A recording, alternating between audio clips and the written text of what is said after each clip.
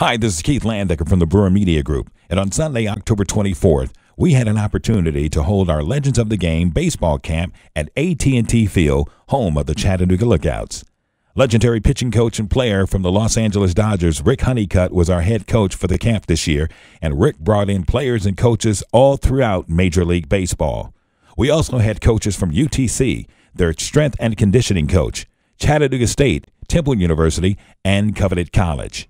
We had over 200 kids attend our camp this year, and they had a day of learning and fun, and they enjoyed being around the legends. We got, uh, you know, uh, a lot of young kids out here today. We're trying to give them a few pointers and tips. We got uh, a lot of help out here with some uh, our homegrown talent from this area or people in, in pro sports pro baseball that are living in the area that uh, came out to give their time. But our main focus is to help these kids, uh, give them some tips. So hopefully, as they're watching the ball games, they can they can see and start uh, being excited about the game of baseball and wanting to get better. And during their next season, hopefully, some of this carries over into their next season. Once again, it was the Legends of the Game baseball camp at AT&T Field.